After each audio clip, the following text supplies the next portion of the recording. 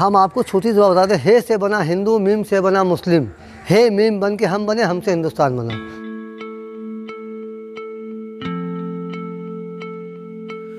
हमारे समाज में, हमारे बीच ऐसी बहुत सी कहानियाँ होती हैं, जो हम तक नहीं पहुँच पाती। संवाद ऐसी ही कहानियों को आप तक पहुँचाने का माध्यम है।